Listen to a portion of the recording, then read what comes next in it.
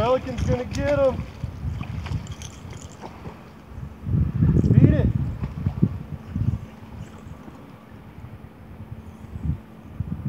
He got away.